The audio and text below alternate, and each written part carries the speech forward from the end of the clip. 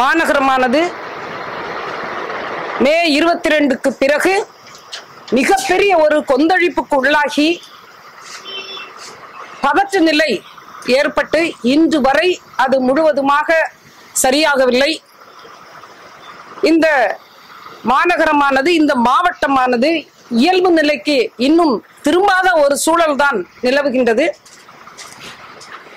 இப்பேற்பட்ட ஒரு நிலையிலே பதிமூன்று பிளஸ் ரெண்டு பதினைந்து உயிர்களை நாம் இழந்திருக்கக்கூடிய சூழலிலே அவர்களின் குடும்பங்களின் எதிர்காலம் மே இருபத்தி ரெண்டு படுகொலை மற்றும் துப்பாக்கிச்சூடு சம்பவத்தால் ஊனமுற்றோர் வாழ்க்கை குறித்த ஒரு தீர்வு இன்னும் எட்டப்படாத ஒரு சூழ்நிலையிலே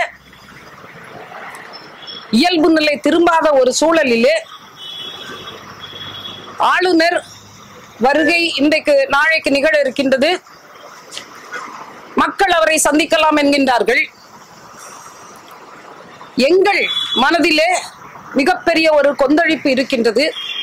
இதுவரை பிரதமர் மோடி இது குறித்த எந்த கவலையும் கண்டனத்தையும் தெரிவிக்கவில்லை. தனது கரிசனத்தை வெளிப்படுத்தக்கூடிய எந்த ஒரு அறிக்கையும் விடவில்லை. இங்கு நடந்த இந்த துப்பாக்கி சூடு குறித்து வருத்தத்தை தெரிவிக்கவில்லை வேதனையை வெளிப்படுத்தவில்லை. இந்த பின்னணியிலே அவரின் பிரதிநிதியாகிய ஆளுநர் தூத்துக்குடிக்கு வருகை தருகின்றார். அவர் வருவதும் பல்வேறு நிகழ்ச்சிகளிலே கலந்து கொள்ள வருகின்றார். தாமிரபரணி புஷ்கர விழா தூய்மைப்படுத்தும் நிகழ்ச்சி என்றெல்லாம் பல்வேறு நிகழ்ச்சிகளிலே பங்கேற்கும் ஒரு திட்டத்தோடு இங்கு வருகை தருகின்றார். அதோடு சேர்த்து மக்களையும் சந்திக்கின்றார். அது கூட ஸ்டெர்லைட் பிரச்சனை தொடர்பாக அவர் சந்திப்பதாக நாங்கள் அறியவில்லை. மக்களை சந்திக்கின்றார் மனுக்கள் பெறுகின்றார் என்கின்றார்கள். ஸ்டெர்லைட் பிரச்சனையை அது தொடர்பாக நடந்த படுகொலைகளை மனதிலே வைத்து மக்களின் உணர்வுகளை புரிந்து கொள்ள அவற்றினை பதிவு செய்வ செய்ய வேண்டும் என்ற எண்ணத்தோடு வருவதாக நாங்கள் அதை பார்க்க முடியவில்லை. இப்பேற்பட்ட சூழலிலே ஆளுநரை சந்தித்து மனுக்கள் கொடுப்பதால் என்ன பயன் என்ற கேள்வியே இன்றைக்கு தூத்துக்குடி மக்களின் மனதிலே மிக ஆழமாக பதிந்திருக்கின்றது. இதுவரை வருத்தம் தெரிவிக்காத ஒரு பிரதமரின் பிரதிநிதி இங்கு வந்து இந்த காகிதங்களை மட்டும் பெற்றுக்கொண்டு என்ன செய்துவிடப் போகின்றார் என்ற கேள்வி எங்கள் முன் நிற்கின்றது. இந்த சூழலிலே ஆளுநரை சந்தித்து பல்வேறு மனுக்களோடு ஸ்டெர்லைட் தொடர்பான மிக முக்கியத்துவம் வாய்ந்த இந்த பிரச்சனை ஸ்டெர்லைட் தொடர்பான மனுக்களை கொடுப்பதில் எந்த அர்த்தமும் இல்லை.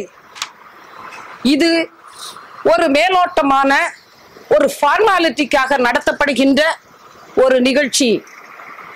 அப்படித்தான் இதை பார்க்க முடிகின்றது. இதன் காரணமாக அவரை சந்திக்கின்றது என்பது அவசியமற்றது என்று நாங்கள் நினைக்கின்றோம். அவரை சந்திப்பதாக இல்லை.